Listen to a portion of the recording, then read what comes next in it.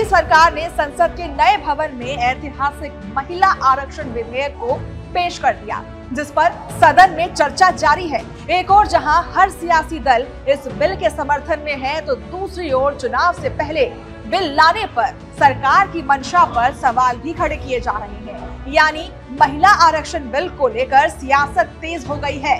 सबसे दिलचस्प बात नज़र आ रही है कि इस मुद्दे को लेकर समाजवादी पार्टी और बहुजन समाज पार्टी के एक बार फिर से सुर से सुर मिलते नज़र आ रहे हैं। दोनों पार्टियों ने इस बिल का समर्थन करने का ऐलान तो किया है, लेकिन इसके साथ ही ओबीसी महिलाओं और एस टी के लिए भी आरक्षण की मांग की गई है।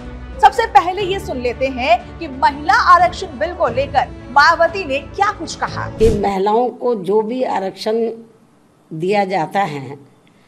तो उसमें से एस सी एस टी व ओ बी सी वर्गों की महिलाओं का आरक्षण का कोटा अलग से सुनिश्चित किया जाना चाहिए।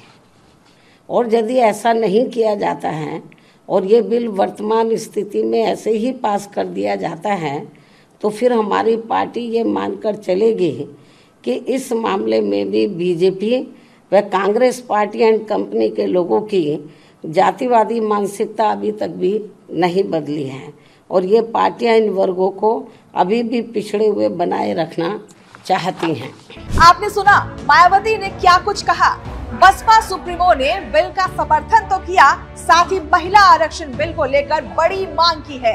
मायावती ने कहा कि एस सी और ओबीसी वर्गों की महिलाओं का कोटा अलग से सुरक्षित करना चाहिए, क्योंकि अगर ऐसा नहीं हुआ तो इन वर्गों के साथ नाइंसाफी होगी। वहीं दूसरी ओर सपा सुप्रीमो अखिलेश यादव ने भी मायावती की तरह ही पिछड़े दलित, अल्पसंख्यक, आदिवासी, यानी कि पीडीए को बिल में अहमियत देने की बात कही है।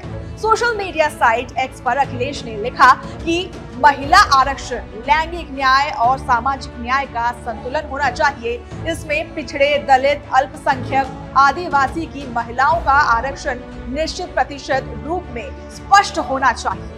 यानी महिला आरक्षण को लेकर सपा, बसपा, ओबीसी महिलाओं को भी रिजर्वेशन दिए जाने के मुद्दे पर एक साथ दिखाई दे रही है।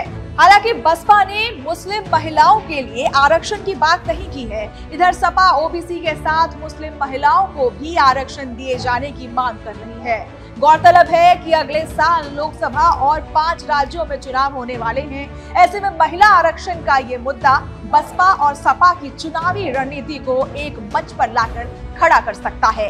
वैसे तो मायावती ने साफ़ कर दिया है कि बसपा न एनडीए के साथ आगामी चुनाव लड़ने वाली है।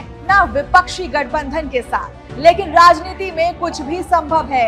ऐसे में इस बात की हवा फिर से जोरों पर है कि महिला आरक्षण बिल को लेकर उठे सवाल मायावती और सपा के बीच की दूरियों को कम कर सकती है, जो आने वाले चुनावी जंग में विपक्षी गठबंधन इंडिया के लिए अच्छी खबर मानी जा सकती है।